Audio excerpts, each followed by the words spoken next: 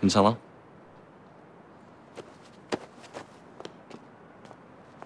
아, 선배 아직 안 갔어요? 난 이쪽에서 택시 타야 돼서. 어. 아. 넌뭐 타는데? 전 차 타고. 누구 차? 아. 잠시.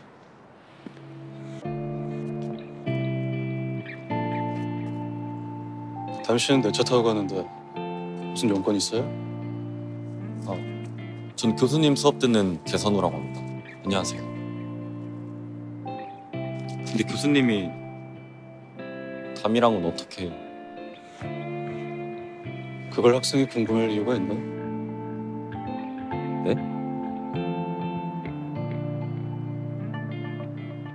네 궁금한 이유 있는데요.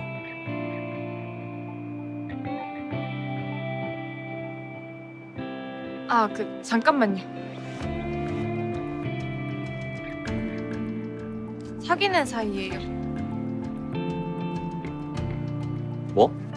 소문나면 이런 사람 말 나올까봐 얘기 못했는데 우리 과에 교수로 오기 전부터 만나고 있었어요. 뭐 앞으로는 수강 절대 안 할 거니까 문제 없을 거고요. 무슨 소리야? 지금 그게 문제가 아니잖아. 그럼 담아. 나 어제 사과하고 싶었어. 사과하고 네가 눈에 띄지 말라고 하면 안 띄고 말 걸지 말라고 하면 안 걸고 아니? 못 건다고. 근데 이건 진짜 아니지.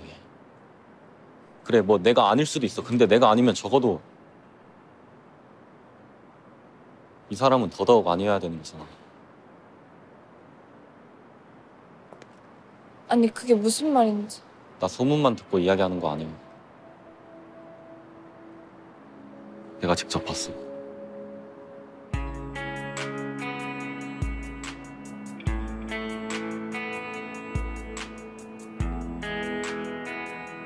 아니 지금 무슨 말인지 하나도 못 알아듣겠는데 소문이라뇨?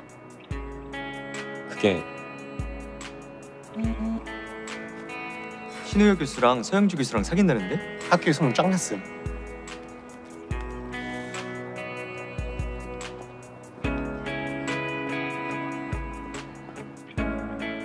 그만 가자.